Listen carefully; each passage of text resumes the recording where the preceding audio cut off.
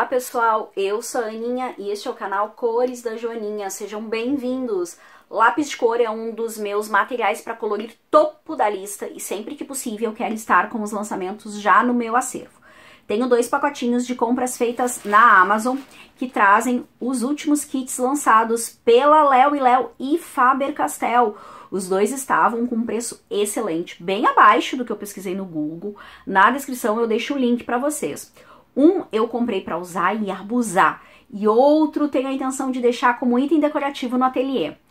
Um dos lápis que eu comprei da Amazon foi de um vendedor afiliado. Ele veio bem embalado, consigo perceber que tem muito plástico bolha, foi enviado no prazo. E mesmo eu tendo que pagar um pouquinho de frete, porque ele não estava sendo comercializado pela Amazon, saiu bem abaixo do preço que eu havia visto lá no site Shopee e em outras papelarias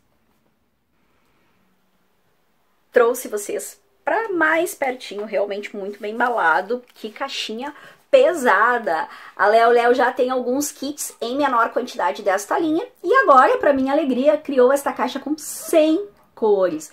Os lápis eles têm um design muito elegante, com madeira escuro, corpo redondo. Eu já possuo as outras caixas desta linha, estou bem curiosa para conhecer as cores que vem nesta. E embalagem bonita, esses detalhes holográficos.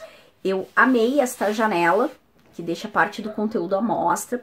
É uma caixa de papelão, mas bem robusta. Bom, para abrir, ela tem um formatinho de maletinha, então vou dar uma baixadinha para facilitar a retirada dessa aba superior, porque sim, pode acontecer de rasgar. Não tiver cuidado, é o tipo de embalagem fácil para ser rasgada. Apesar de ser um papelão bem rígido mesmo, eles investiram em qualidade de material aqui para fazer a caixinha. Vou dar um cortezinho nesse lacre, vem com um lacrezinho. Aqui as abas. Internamente são quatro bandejas que separam os lápis. Então, tentar tirar com cuidado. Então, aqui já consegui tirar duas bandejinhas. Cada bandeja vem 25 lápis.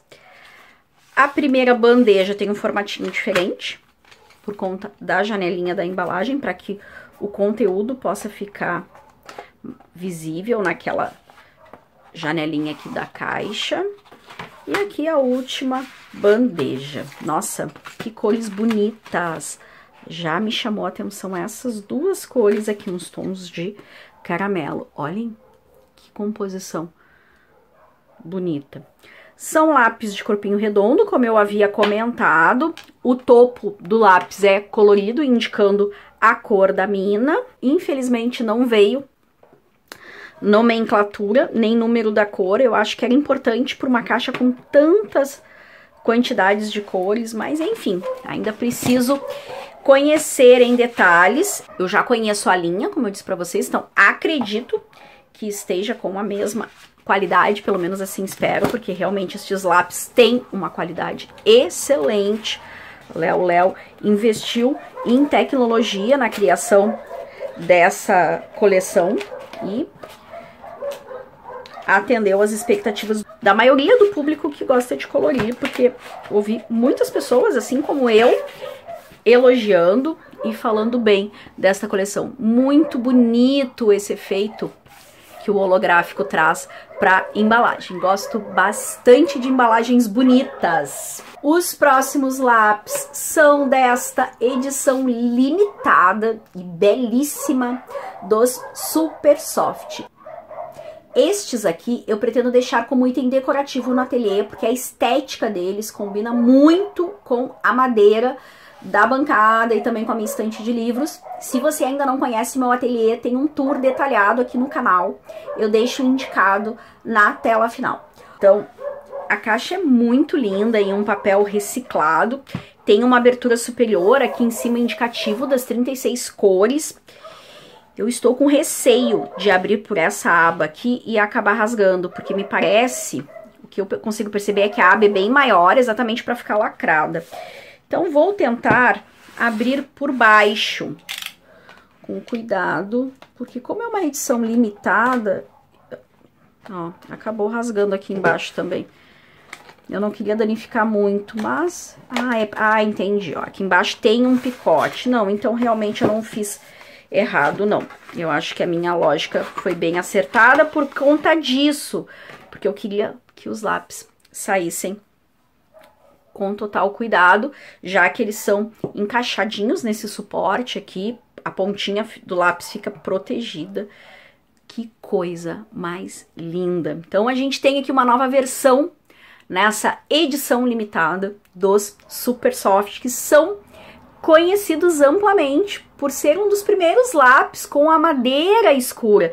E aqui está a madeira natural sem o banho de cor, apenas o topo de cada lápis é colorido para indicar as cores. E aqui interessante ver a presença de tons neon nessa edição com 36 cores, tons metálicos e outros tons que compõem a paleta do Super Soft, que já é uma paleta bem extensa, tem caixas de paletas específicas, tem também a caixa de 100 cores, já tem muito vídeo aqui no canal com mostrando toda a linha de Super Soft e agora incluindo este lápis que vai ficar muito bonito como item decorativo aqui no ateliê, porque como vocês podem ver, conversa diretamente com a madeira detalhe aqui do meu ateliê, que mescla a madeira branca e os tons de madeira clarinha. Então, por isso me chamou tanto a atenção e eu quero muito que ele fique exposto. E realmente é um suporte excelente para deixar o lápis exposto, porque a pontinha do lápis, onde está a mina, fica protegida, então não fica em contato com o ar, com a poeira. E olha, é um suporte que deixa o lápis bem fixo, pode ver que eles não balançam. Me surpreendeu. Por isso que eu tava querendo tirar por baixo, porque eu tava com medo, né, de rasgar a caixinha e quando tirasse, estes lápis virassem. Mas acho que nem teria uh, acontecido isso. E olha que legal, aqui dentro da caixinha tem, veio uma proteçãozinha pros topos, ó. Um triângulo de papel para proteção do topo. A Faber-Castell é muito cuidadosa nas suas embalagens, é uma, uma marca que realmente investe também nisso, né, na estética e na proteção dos lápis, e vem aí com essa edição limitada. E eu achei, fiquei temerosa que eu tivesse rasgado aqui muito a caixinha, mas não, já consigo fechá-la novamente. Só levantar aqui essas abinhas que o fechamento já acontece. Essas edições limitadas é legal poder preservar a embalagem, porque faz parte aí aquelas caixas que a gente quer ter a lembrança completa, né? Além do produto também, a embalagem, aqui vem sinalizado que realmente é uma edição limitada, ou seja, uma edição para quem gosta de colorir, mas também para quem quer ter um produto colecionável. Amei as minhas comprinhas, espero que vocês também tenham gostado. Me contem se é novidade para vocês estes materiais, se vocês já conheciam, qual é a opinião. Quero muito saber. Para quem ficou até aqui, obrigada pela companhia. Deixa nos comentários a hashtag topo da lista para eu saber que você assistiu até o final e marcar seu comentário com um coraçãozinho. Aqui do lado eu vou deixar indicado dois conteúdos que podem te interessar. Seguimos conversando e nos vemos no próximo vídeo.